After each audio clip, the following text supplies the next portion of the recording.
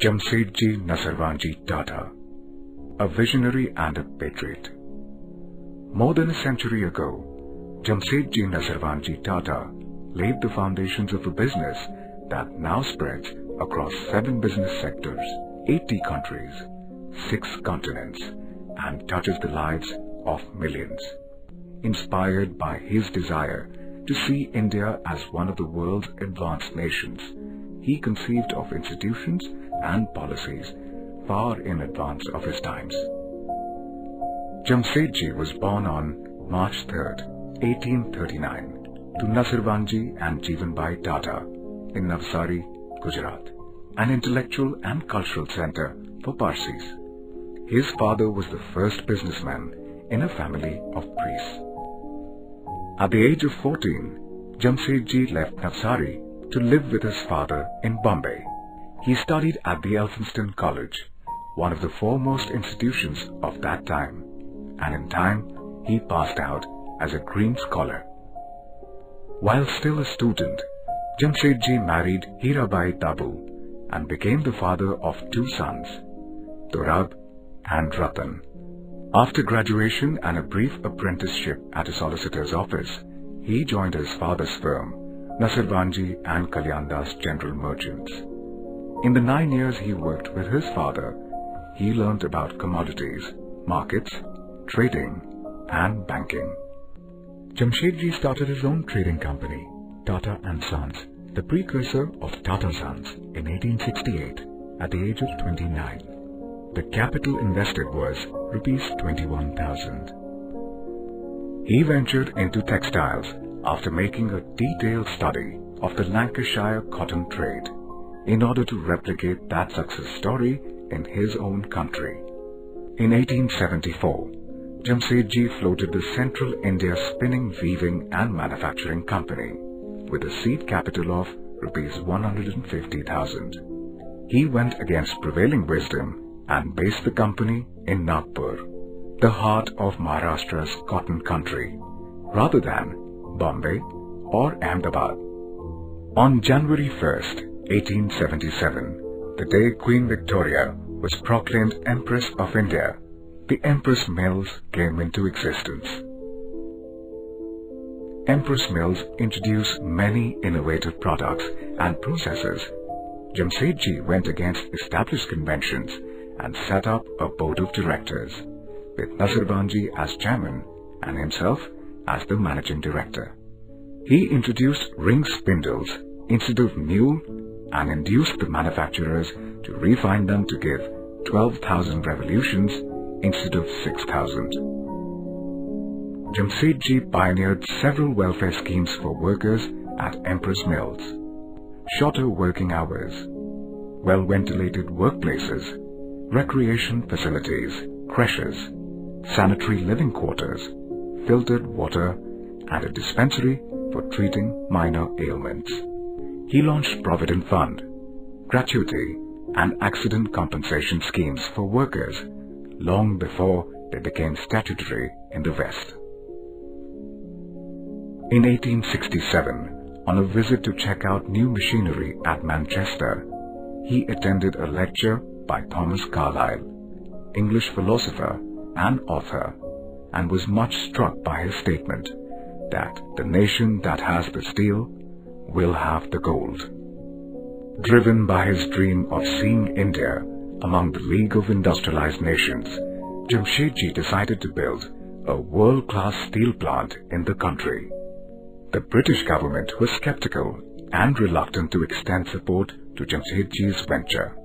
Sir Frederick Upcott, the Chief Commissioner of the Great Indian Peninsula Railway, scornfully promised to eat every pound of steel rail the Tatas succeed in making. Jamsetji was unfazed. He started diligently collecting information on minerals in India. At his request, Charles Perin, the foremost geologist in America, came to India to prospect for the best site. He said he was compelled to do so by the character, force, and kindliness radiating from Jamsetji's face. Jamsetji went to America to study the technology being used by the steel plants. He saw the poor conditions American workers lived in and was determined this would not happen at the steel plant he set up. He described his concept of a township for steel workers in a letter to his son Dorab, five years before a site for the steel plant had been finalized. Be sure to lay wide streets planted with shady trees, every other of a quick growing variety. Be sure that there is plenty of space for lawns and gardens. Reserve large areas for football, hockey and parks. Earmark areas for Hindu temples, Mohammedan mosques and Christian churches. The poverty of his countrymen deeply affected Jamsetji, but he was not an advocate of what he called patchwork philanthropy, which only benefits the recipient. He believed that what advances a nation or a community is to lift up the best and the most gifted so as to make them of the greatest service to the country. It was in this spirit of encouraging the best that Jamsetji established the J.N. Tata Endowment in 1892 to enable Indian students, regardless of caste or creed, to pursue higher studies in England. This flowered into the Tata scholarships. Jamsetji's vision for India did not stop at a steel plant. Bombay had over 100 textile mills polluting the city with coal-fired boilers. He wanted to replace them with a clean source of energy, hydroelectric power. His ambitious plan envisaged the creation of a reservoir between the hills of the Western Ghats and an artificial waterfall that would turn turbines to produce electricity. Also on Jamsetji's agenda was the setting up of an institution of scientific learning and research to develop India's technical resources. Jamsetji pledged rupees 3 million, a third of his personal fortune, to this institute, but he was firm it would not carry his name. He wanted it to be a national institution with a national name the Indian Institute of Science so that individual benefactors would be at ease contributing funds. Jamsetji did not live to see either the Indian Institute of Science or the Tata Hydroelectric Power Supply Company or Tata Steel set up. Only one of the ventures he worked so hard for saw the light of day in his lifetime, the Taj Mahal Hotel. Built 21 years before the Gateway of India, it was Jamsetji's gift to Bombay, a luxury hotel that even now stands apart from its peers. Legend has it that he set his mind on building it after being denied entry into one of the city's hotels because he was an Indian. The Taj Mahal Hotel has a list of firsts to its credit. It was the first building in Bombay to use electricity and the first hotel in the country to have American fans, German elevators, Turkish baths and English butlers. The 10-spun steel pillars that Jamsetji personally selected at a Paris exhibition still hold up the ceiling of the hotel's ballroom. The faith that Jamsetji reposed in his people motivated them to fulfill his dreams long after his death in 1904. His extraordinary vision was given concrete form by his two sons, Dorab and Ratan.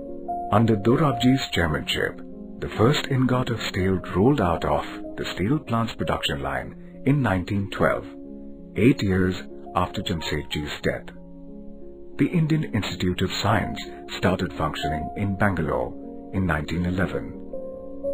The Walwhan Dam started production of hydroelectric power in 1915. Over the years, the Tata Group has grown and evolved, staying contemporary and at the forefront of India's industrial needs. What has not changed is the underlying Tata philosophy of constantly remaining true to the needs of the nation and society. Jamsetji's innovative zeal philanthropic spirit and values formed the bedrock of the Tata Group. The rich legacy that he left behind continues to guide the Tata Group's journey to this day.